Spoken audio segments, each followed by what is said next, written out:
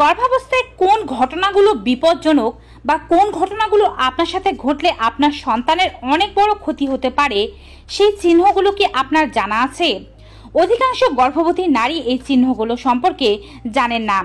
বিভিন্ন সোশ্যাল মিডিয়ায় ও বিভিন্ন ধরনের প্ল্যাটফর্মে প্রায় সময় আমরা দেখে থাকি যে, একজন গর্ভবতী নারীর সাথে মারাত্মক রকমের কোনো ঘটনা ঘটে যাচ্ছে তারপরেও সে ডক্টরের কাছে না গিয়ে এটিওতে বিভিন্ন ধরনের প্রশ্ন করছে যে আমার এই সমস্যাটি হচ্ছে, আমি এখন কি করতে পারি? অথচ তার এক সেকেন্ডও ঘরে অপেক্ষা না করে দ্রুত চিকিৎসকের কাছে গেলে এবং সময় মতো চিকিৎসা নিলে হয়তো বাচ্চাটিকে বাঁচানো যেত। তাই প্রত্যেকটি গর্ভবতী নারীকে জানতে হবে বিপদ চিহ্নগুলো সম্পর্কে। যে চিহ্নগুলো তিনি তার শরীরে দেখতে পেলে কোনো ধরনের অপেক্ষা না করে দ্রুত তাকে চিকিৎসকের শরণাপন্ন হতে হবে। Hello mommies daddies and all my lovely viewers সকলের কাছে অনুরোধ থাকবে আপনারা আজকে এই চ্যানেলে নতুন হয়ে থাকলে মা ও শিশুর স্বাস্থ্য বিষয়ক এমনই উপকারী ভিডিওগুলো পেতে চ্যানেলটি সাবস্ক্রাইব করে পাশে থাকা বেল আইকনটি ক্লিক করে অল নোটিফিকেশনে ক্লিক করে দেবেন। এতে করে আমি ভিডিও আপলোড করার সাথে নোটিফিকেশন আপনাদের কাছেই পৌঁছে যাবে। চলুন এবারে মূল ভিডিওতে যাওয়া যাক। গর্ভাবস্থায় প্রথম যে বিপদ চিহ্নটি সম্পর্কে কথা বলছি, সেটি হচ্ছে তলপেটে তীব্র ব্যথা।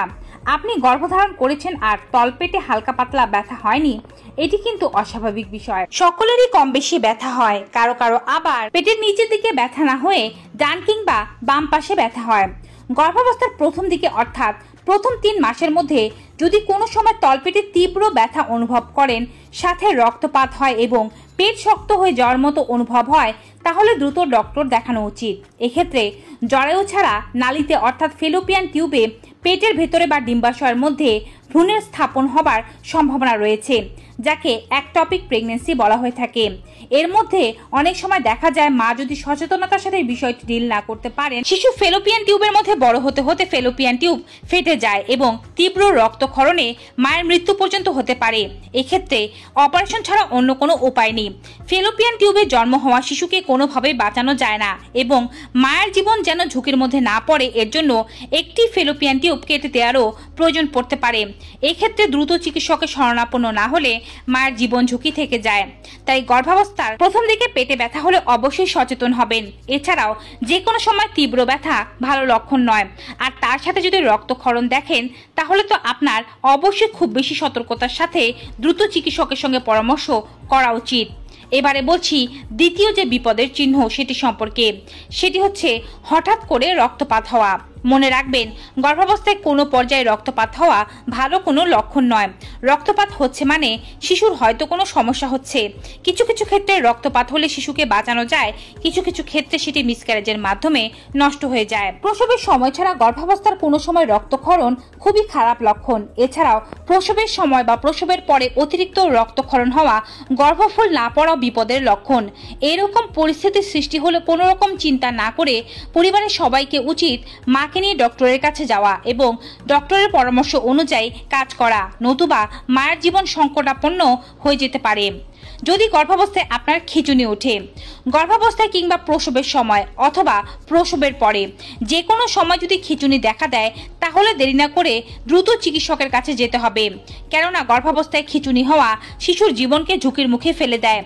একলামশিয়া বা প্রি একলামশিয়ার কারণে খিচুনি উঠে মা ও শিশুর উভয়েরই মৃত্যু ঘটতে পারে। গর্ভাবস্থার চতুর্থ যে বিপদের লক্ষণের কথা বলছি, তা হচ্ছে চোখে ঝাপসা দেখা বা তীব্র মাথা ব্যথা অনুভব হওয়া, গর্ভাবস্থায় প্রসবের সময় বা প্রসবের পরে। যে কোনো সময় যদি শরীরে জল চলে আসে, খুব বেশি মাথা ব্যথা হয় এবং চোখে ঝাপসা দেখতে পান, তাহলে এটি বিপদের চিহ্ন। এরকম হলে দ্রুত চিকিৎসকের শরণাপন্ন হতে হবে। এছাড়াও আরও লক্ষণগুলোর মধ্যে রয়েছে অধিক মাত্রায় বমি হওয়া। গর্ভের প্রথম তিন মাসে সব মায়েরই কম বেশি বমি হয়ে থাকে। কিন্তু অতিরিক্ত বমি মায়ের জন্য ক্ষতিকারক, কারণ এটি মায়ের দেহ থেকে যথেষ্ট পরিমাণে পানি ও পুষ্টি বের করে দেয়। যার ফলে মায়ের শরীরে সোডিয়াম ও পটাশিয়ামের ভারসাম্যহীনতা সৃষ্টি হতে পারে, কিডনি ফেলিওর হতে পারে জন্ডিস ও খিচুনি সহ মারাত্মক রকমের জটিলতা দেখা দিতে পারে। তাই মা অতিরিক্ত বমি করলে অবশ্যই দ্রুত ডক্টরের কাছে যেতে হবে এবং বাসার চিকিৎসা স্বরূপ মা ঘন ঘন স্যালাইন খাবেন। এছাড়াও গর্ভাবস্থায় যদি আপনার যে কোনো সময় উচ্চ রক্তচাপের সমস্যা দেখা দেয়, এটি বিপদের চিহ্ন। গর্ভবতী মায়ের উচ্চ রক্তচাপ মা ও গর্ভস্থ শিশুর জন্য ঝুঁকিপূর্ণ অবস্থা।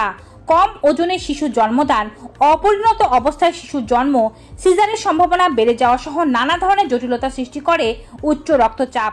গর্ভাবস্থায় উচ্চ রক্তচাপের সাথে যদি প্রোটিন এবং অ্যালবুমিন পাওয়া যায় ইউরিনের মধ্যে, তাহলে বুঝতে হবে আপনি প্রি অ্যাক্লামশিয়াতে ভুগছেন। এর জটিলতা থেকে খিচুনি বা একলামশিয়া হতে পারে, যা মা ও শিশুর মৃত্যু ঘটাতে পারে। গর্ভাবস্থায় বিপদের চিহ্নগুলোর মধ্যে আরও একটি বিপদের চিহ্ন হচ্ছে, যদি আপনার পেটের আকার স্বাভাবিকের চেয়ে অনেক বেশি বড় থাকে অথবা স্বাভাবিকের চেয়ে অনেক বেশি ছোট থাকে। পেটের আকার স্বাভাবিকের চেয়ে বড় হবার কারণগুলো হলো একের অধিক বাচ্চা গর্ভধারণ, পলিহাইড্রামনিওস অর্থাৎ অ্যামনোটিক ফ্লুইড স্বাভাবিকের চেয়ে অনেক বেশি হওয়া এছাড়াও গর্ভবতী নারীর ডায়াবেটিস থাকলে সন্তান আকারে অনেক বেশি বেড়ে যায়। তাই পেট যদি মনে হয় সপ্তাহের চেয়ে অনেক বেশি বৃদ্ধি পাচ্ছে, সেটি ভালো লক্ষণ নয়। গর্ভের জল অনেক বেশি হলে সেক্ষেত্রে চিকিৎসা নিতে হবে। ডায়াবেটিস থাকলে তারও চিকিৎসা নিতে হবে এবং যমজ সন্তান পেটে থাকলে তাদের সুরক্ষার ব্যবস্থা করতে হবে।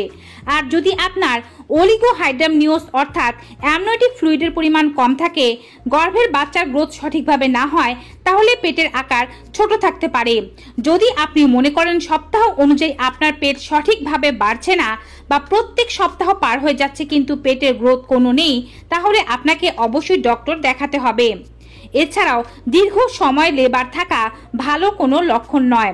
লেবার পেইন আঠারো ঘণ্টার বেশি থাকলে এটিকে বলা হয় প্রলং লেবার যদিও প্রথম গর্ভাবস্থায় তীব্র যন্ত্রণা আপনাকে সহ্য করতে হতে পারে।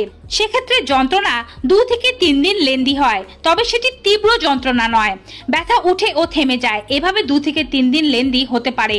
তবে তীব্র যে যন্ত্রণা যে যন্ত্রণা সহ্য করা অসহ্য হয়ে যায়, সেটি সর্বোচ্চ একজন গর্ভবতী মাকে ছ থেকে আট ঘণ্টা সহ্য করতে হতে পারে।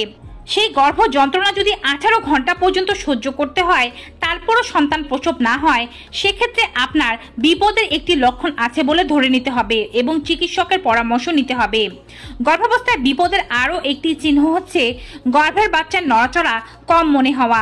সাধারণত ষোলো থেকে চব্বিশ সপ্তাহের মধ্যে গর্ভের বাচ্চা প্রথমবার নড়ে। আঠাশ সপ্তাহ থেকে বাচ্চার তীব্র নড়াচড়া শুরু হয়। এর আগে বাচ্চার নড়াচড়া হালকা থাকে এবং মা অনেক সময় বুঝতে পারেন না। আঠাশ থেকে ছত্রিশ সপ্তাহের মধ্যে বাচ্চা প্রচুর নড়ে। ছত্রিশ সপ্তাহের পর থেকে বাচ্চা নড়াচড়া আবার একটু কমে যায়। তবে বাচ্চার নড়াচড়া যতই কমুক না কেন, যখন থেকে আপনি বাচ্চার নড়াচড়া উপলব্ধি করতে শুরু করবেন, তখন থেকে দৈনিক আপনাকে গণনা করতে হবে যে বাচ্চা অন্তত পক্ষে দিনে দশ বার নড়ছে।